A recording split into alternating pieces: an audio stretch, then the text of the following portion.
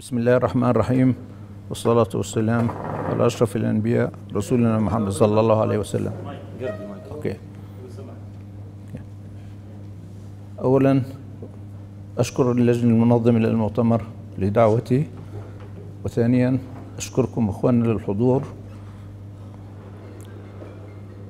وأتمنى إن شاء الله اعذروني أنني أتكلم وأنا جالس لأنه I have replacement of my knees and the legs as well the two knees and the two legs so please excuse me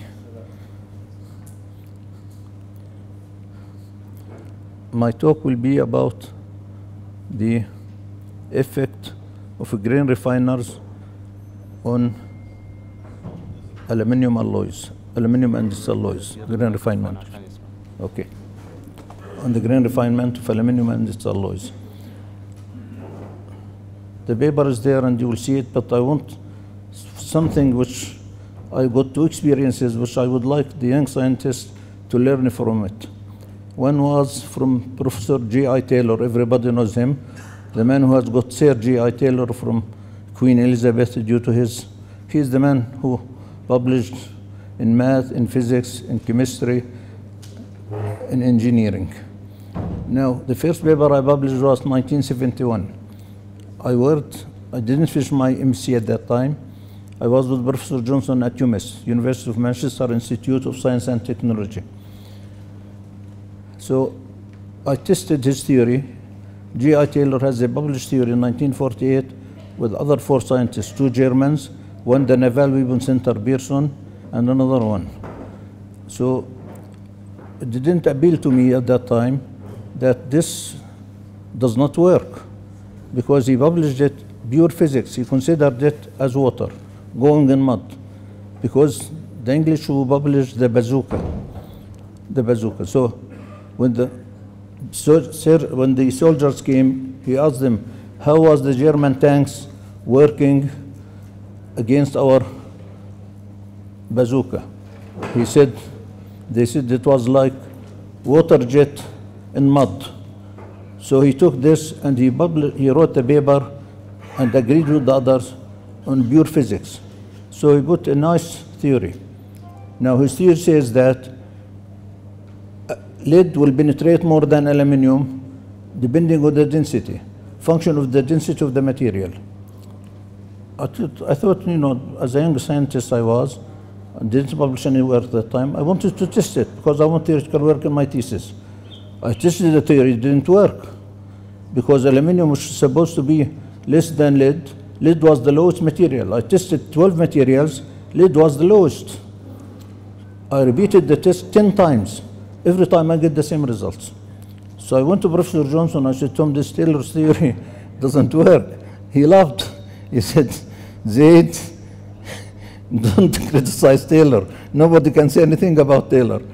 So I said to him, this is what repeat the results. I told him 10 times, I repeated it, and it's very repeatable. He said, write the paper. I wrote it and sent it for publication. Of course, I will send it to whom? To G.I. Taylor, to referee. He phoned Johnson. I was the first author on the paper. He phoned Johnson. He couldn't answer him. He asked his secretary to call me to answer the phone. So I went on the phone. I said, what I have to do with G.I. Taylor? He wants Professor Johnson. She said, no, Johnson sent me to you. So I went there. I spoke. He said, Zaid, this is an excellent piece of work. But if you allow me, then, because I said in the paper, this contradicts Taylor's and Itar theory, Taylor and his group. So what happened? He said, it's an excellent piece of work, but allow me to add one sentence. I said, please. He wanted to say, this is the, was the breakthrough for me to, to really respect science and scientists. He said, I would like to add a sentence, if you don't mind. Due to the lack of experimentation at that time, the paper was 1948, he wants to write it due to the lack of experimentation لنقص experimental work at that time الأجهزة and it was a very small apparatus which I designed. It was only a piece of heavy metal and a stylus which goes through to the deep of the, the cut, the depth of the cut. And believe me, that man, uh, the paper still there, published in the Institute of Mechanical Engineers, and he didn't add that sentence. This, I respected him very much for this. Now, I would like also for the young scientists to follow this work. Now, normally, people do not go to the origin of the work. All my papers, I always write as early as, because you have to give, to get, to give the credit to the own people. Now, this paper, the grain refinement, which has given me the Nobel Prize, nobody dares, if you open the net, you will not find any names except me and Dr. Safwan. Is he here, Dr. Safwan? Unfortunate. He was my first student. He took his BC project with me, his Master of Science with me, and his doctorate with me. He- now he is the Dean of the Faculty of Engineering in Zaytoonah University. So the second learning was to go to give the people their credit. Now this work on grain refinement, which has a, which I have got the Nobel Prize on it, the grain refinement, because I have around 87 papers on it.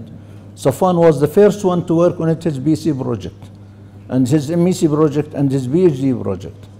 Now, the grain refinement was discovered, all science, all science, the, the, the big rules and the big found, findings were by normal people by chance, accidental.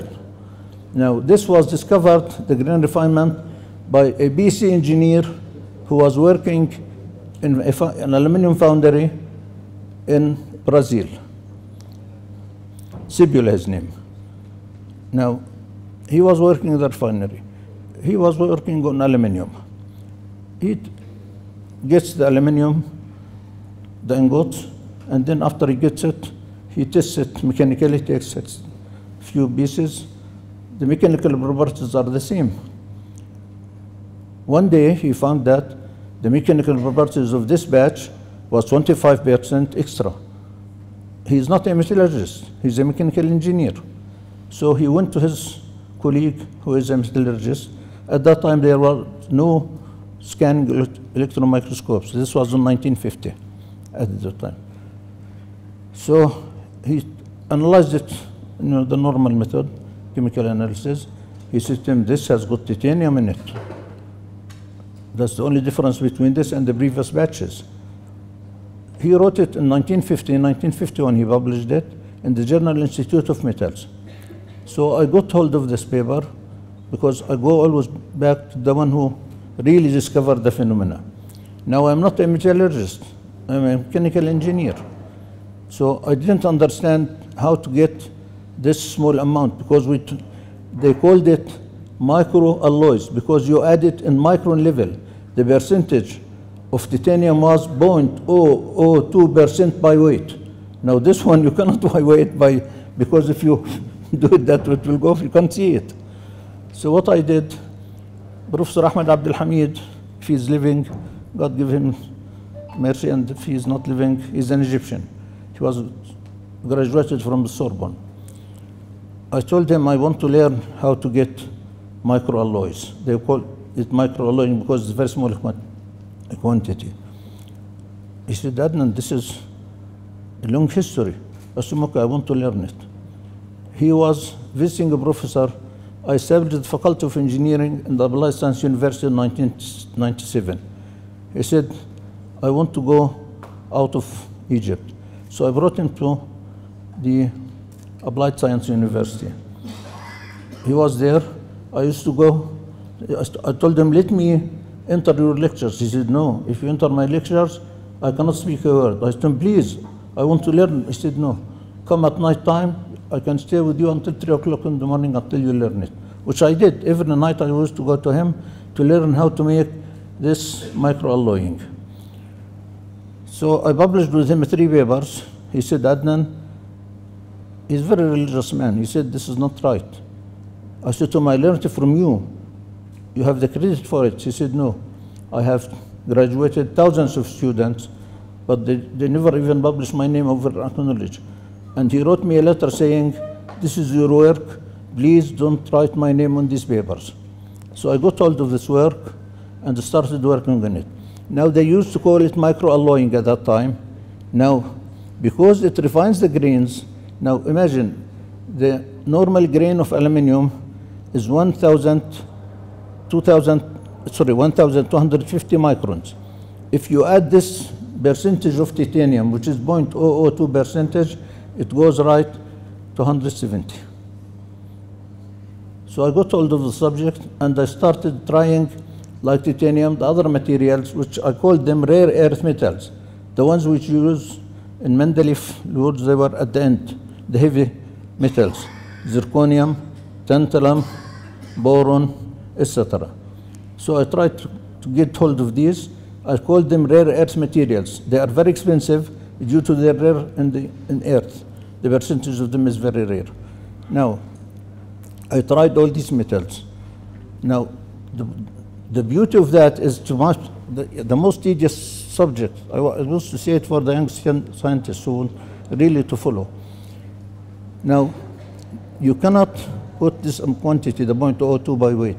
So you have to establish first, which is very tedious process, is the master alloy.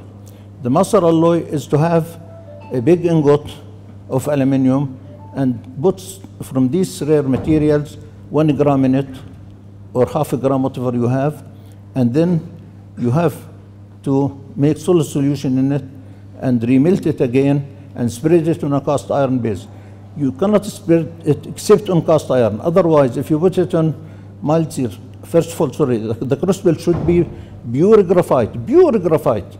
Otherwise, if any element goes in it, carbides will not do. It will change the whole thing. If any metals go inside, it will change everything. So crucible must be graphite, pure graphite.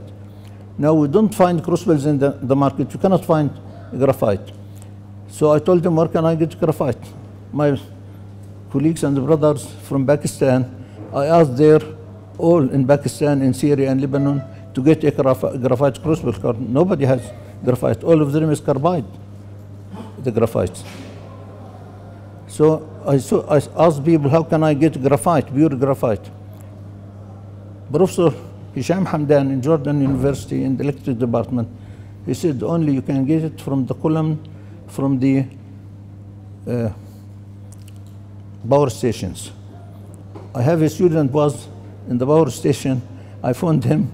I said to him, I want to, you remember? Asked him, I want a graphite, a graphite piece. He said, you are lucky. We ordered 10, one is broken. Do you have a student to come and take it? I said to him, yes. So one of my students was a Missy student. He went to his car and he brought it. Now the problem was when he machine it. So when he machined it in the workshop, all the, the technicians has gone out, went up because all the dust has come black. You know the graphite is very dirty, black.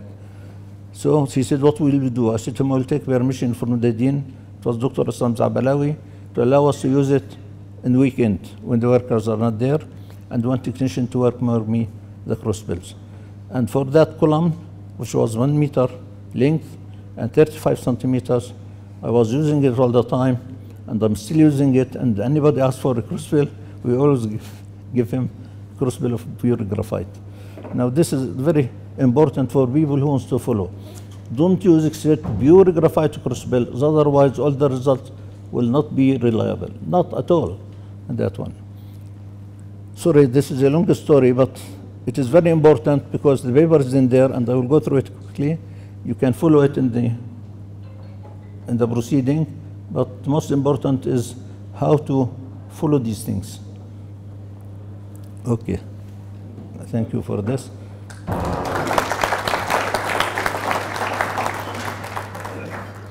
go to the presentation, please. Give me my laptop. Yeah, presentation. Yeah, here. لسه ما بدأنا. ال- البيور لابتوب ده. I want the laptop, please. وين اللابتوب؟ البرزنتيشن اللي كانت معروضه هاي له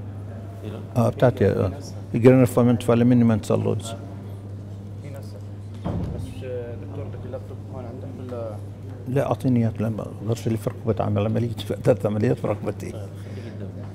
بحطها على ركبتي. أنا ركبتي بحطها ركبتي بحطه أوكي. أوكي برادر شكرا.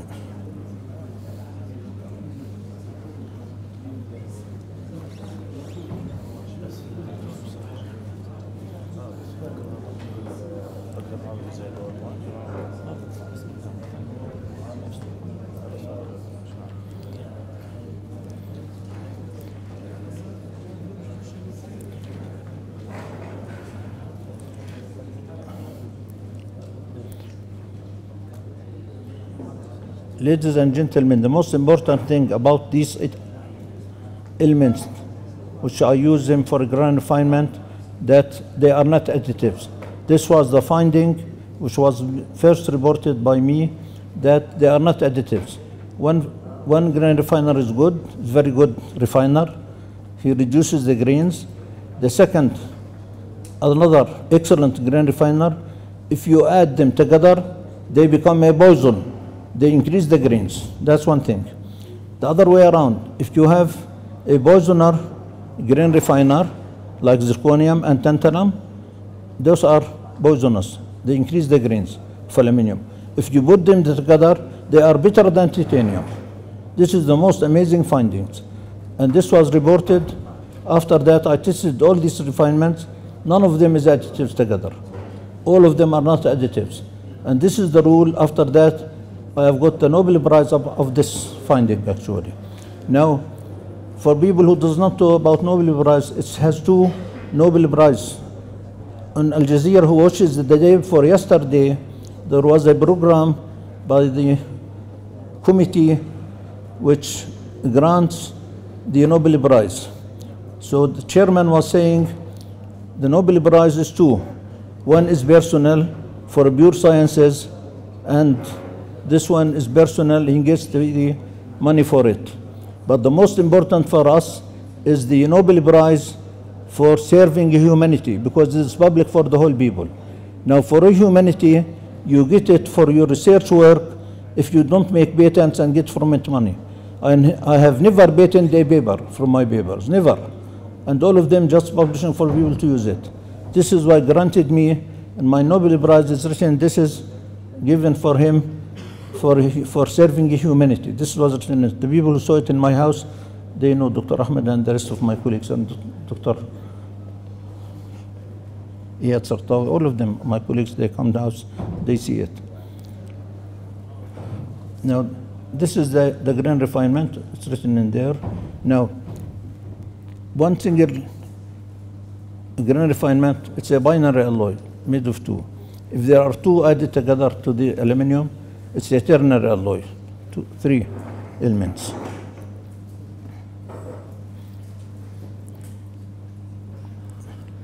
I'll talk about the parameters which affect the process.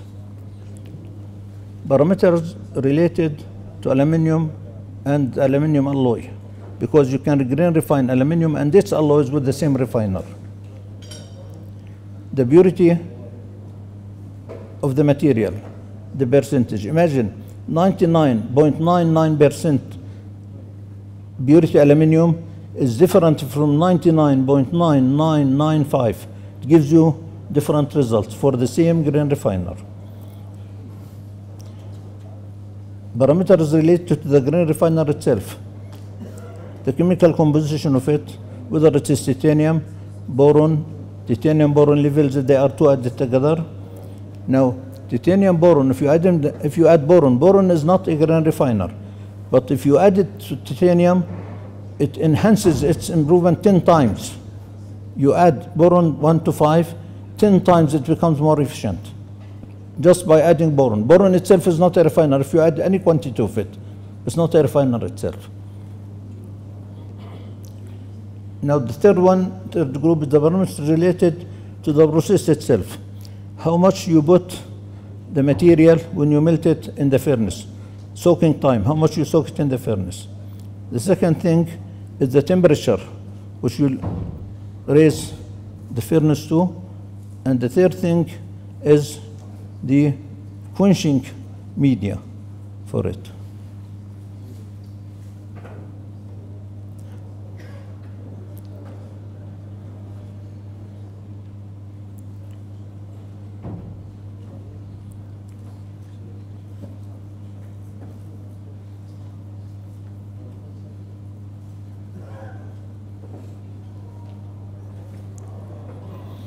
measure this curve of grain refinement.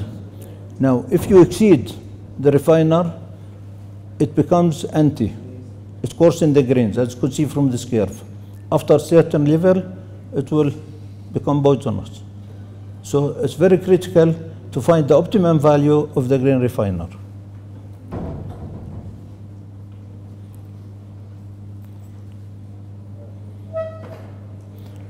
This is some of the different additives. This is one of them, vanadium. So most of the work was to study these parameters, the grain refiners on the mechanical characteristic and metallurgical, on the grain size, on all the mechanical characteristics, mechanical strength, hardness, fatigue life, corrosion, etc., etc. Those have been covered in all my papers. So you, nobody now, I cannot find except professor in India, Arjuna, from the Indian Institute of Technology, who has worked, he's a metallurgist, who worked on some metallurgical aspects of, the, of, the, of these grain refiners. But the other, nobody has worked on this except my papers and my students. That one.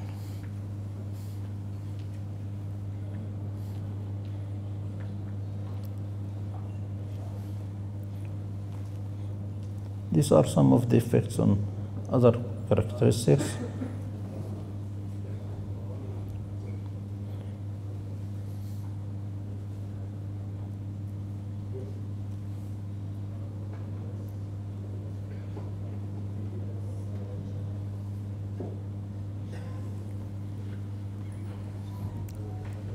I want to talk about the recent developments, people who want to follow on the work.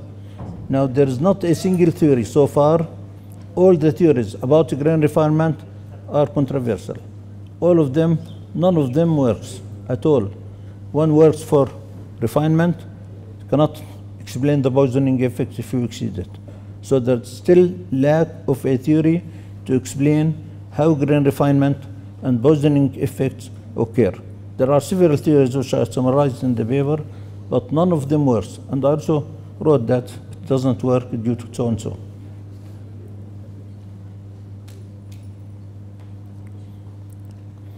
I will talk about the conclusions. The grain refinement of ingots by the binary aluminum titanium and the ternary aluminum titanium boron. I said boron, if you add it, it increases the efficiency of the grain refinement of titanium, although it's not a refiner. It's vital importance for recent casting as it results in improvement of mechanical strength and surface quality. I forgot to talk about the surface quality. Apart from the strength, increasing the strength and mechanical characteristics, it improves the surface quality of aluminium. Beautiful it makes it. Extensive research work is being and is still carried out for the development of new grain refining master alloys. Now they are available, by the way, these master alloys, aluminium, titanium, aluminium, titanium, boron are available commercially. Belgium sells them. You don't need to ma- manufacture your master alloy. They send them ready already. You can buy them from the market.